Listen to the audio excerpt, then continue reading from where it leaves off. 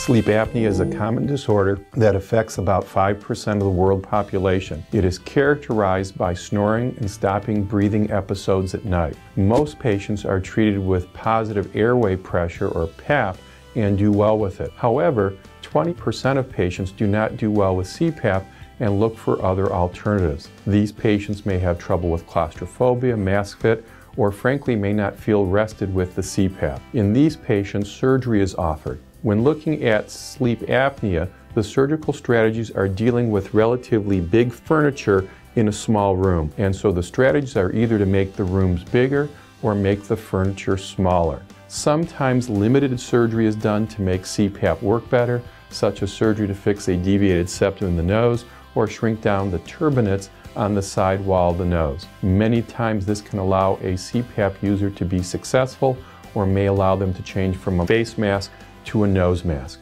When CPAP is still not effective, at times curative surgeries are done to make sleep apnea better. These involve taking out the tonsils, trimming off the uvula in the back of the throat called uvula uvulopalato Nasal surgery is often done at the same time. Radio frequency is often used to shrink down the back of the tongue, and this surgery has a relatively good success rate of helping people reduce their snoring and make their sleep apnea better. Recently, new advances in surgery have allowed the robot to be used to treat the back of the tongue in sleep apnea. In this situation, the robot is used to trim off the tongue tonsils in the back of the tongue or lingual tonsils, and this is often done with UPPP or uvulopalato at the same time. This new procedure does offer better success rates, but also has more pain involved. And so aggressive pain management after surgery is needed to include the use of anti-inflammatories,